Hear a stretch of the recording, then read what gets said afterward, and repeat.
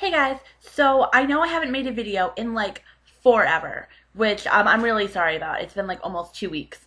Um, but yeah, I was actually just uh, um, getting ready to make a video about my weekend when I decided to check my email first. And I was checking my Manhattanville email. Um, and I got this letter, um, this email from the chairman of something at my college.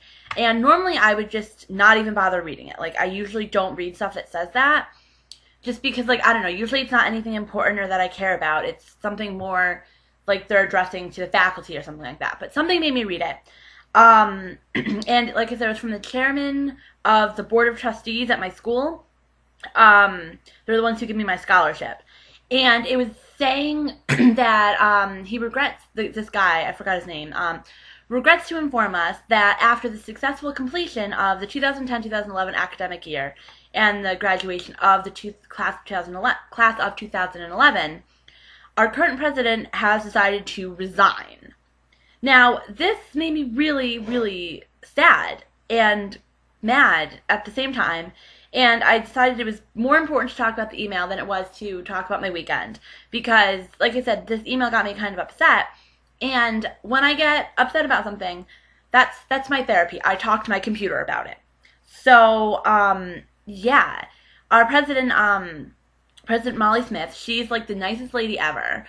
And she started as president um, my first year at the college. I just finished my sophomore year.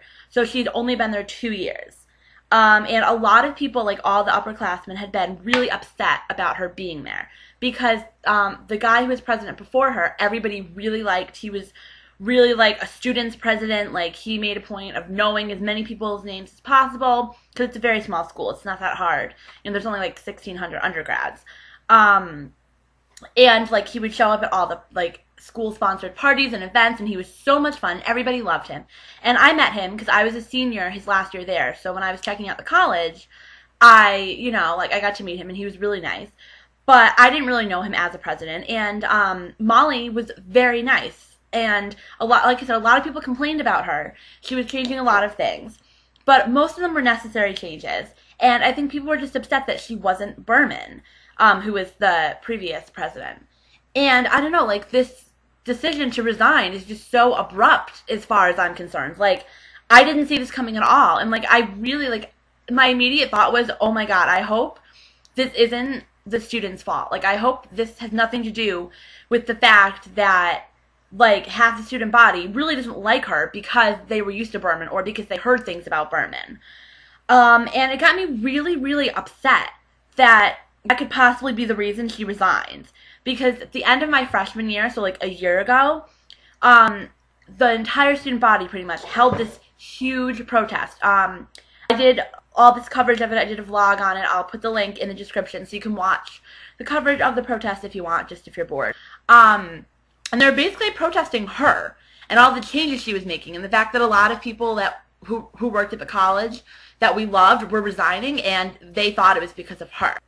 Anyway, I thought I would just um, talk about the email because it's getting me kind of upset. And um, if anyone from Manhattanville happens to be watching this video, um, a, did you get the email and actually read it, um, or is it like a complete shock to you, in which case, sorry to break the news to you this way, and B, are you upset about this, or are you happy about this, or you are, are you indifferent, um, I'm not going to judge you either way. I just really want to know, and, um, yeah, that's how I feel, so, see everybody later. Bye.